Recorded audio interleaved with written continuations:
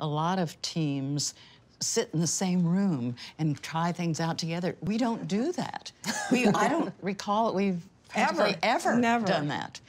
I mean, I do my thing, and then she goes and does her thing, and then we come back, and most of the time, we, I, I like what she brings back. And what if you don't? What if you, in either case, what if the delivery of the first piece makes you go, mm, Nancy says she can tell by the look on my face. Well, mostly it's oh, oh, that I I'm- curl my- really? I curl I'm my- playing something and Gretchen's twirling her hair. I have a pretty. so now you know you have a tell. Don't ever testify in court. Now we all know.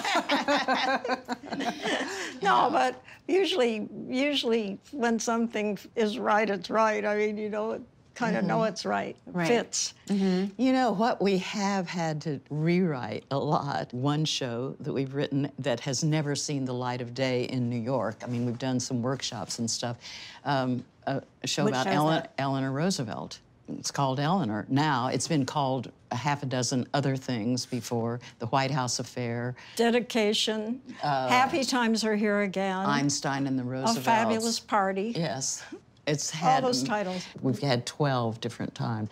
We haven't rewritten the music or the songs, but we've rewritten the concept, the, the show, and and the show has always been about the same thing, has been making the same point that we always wanted to make, but it's taken different forms because each different producer has wanted to put his or her own angle on it and has asked for, and sometimes we decided to go some whole other direction with it ourselves. So that's been the most rewritten. The rest of our things have kind of sprung whole cloth. I'm getting my act together. Once we got on on the that, that just went like the wind.